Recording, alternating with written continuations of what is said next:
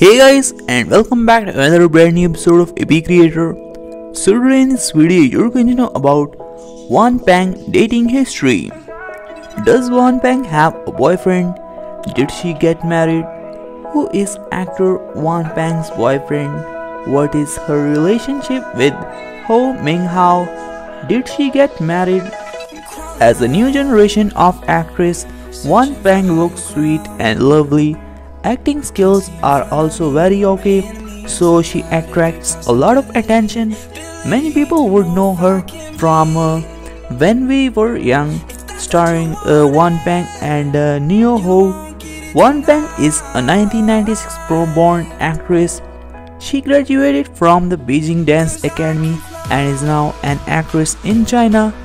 In 2018 Wan Peng started uh, in her debut production when we were young, which is how she officially started her acting career.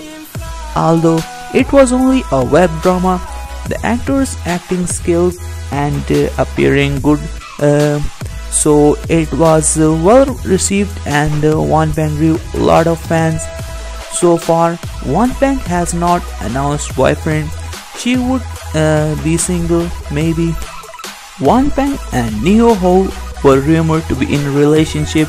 When the drama was broadcasting, they had a lot of interactions in the drama and uh, many netizens have said that they are very perfect to each other so they were speculating uh, whether they were really together or not.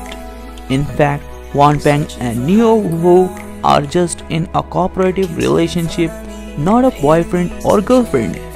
Recently, there is even a marriage photo of Wan Peng is circulating on the net. Wan Peng is suspected of being married. However, the fact is that it is only a scene of her new drama Crush starring Wan Peng and Lin Yanjun. She is not yet uh, married. The news about Wan Peng's husband Wei Sin on internet is false too.